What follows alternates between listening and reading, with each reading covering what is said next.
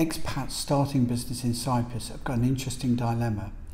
Social insurance in Cyprus is a flat rate task. There's no concessions for new business and new business startups.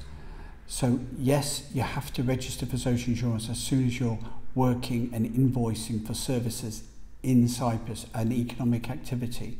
However, while you're building the business up, then you don't need to do that if you've got a very small business below 15,000 turnover, um, you, you don't need a VAT registration either. So for the first 15,000 turnover, you you can not be registered for VAT.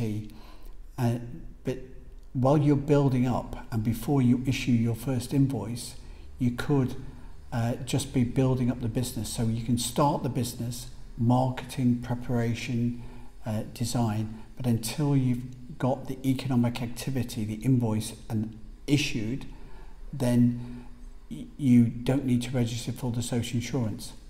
However, expats do need to pay social insurance to get access um, as working expats to the healthcare system in Cyprus. So it's a delicate balance, but part of the business startup strategy should be to defer the social insurance arrangement until economic activity until invoices are going out.